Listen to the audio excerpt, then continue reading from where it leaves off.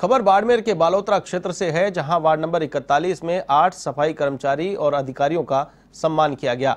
इस मौके पर पार्षद दुर्गा देवी ने कहा कि इस कोरोना महामारी के मौके पर सफ़ाई कर्मचारियों ने अपना फ़र्ज़ निभाया है।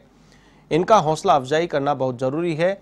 इस दौरान तेजाराम मेघवाल, समाजसेवी खियाराम, तरुण मेघवाल, साबिर तेली, बाबू दवे आदि मौजूद रहे।